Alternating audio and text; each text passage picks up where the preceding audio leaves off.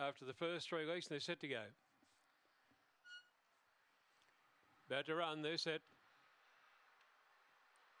Racing, to move out there. Wee Fish and also Frothy's to Goey. Speed to the inside there from Rona Express. Went through to lead by three, settling down. Frothy to Goey. They were followed about three lengths away. Then came Gypsy Cinnamon third. Uh, long gap about four or five lengths away to Olivia Bar, followed by Blamey Kisses. Well back there came Black Blackpool Pyro. Heading to the tail Ruby Arizona in the straight though. And uh, it's uh, Rona Express trying to hang on. Yeah, might have just got home from Frothy to go in a tight go here.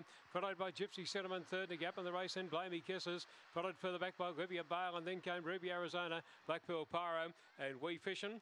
And the time is showing around 22.30.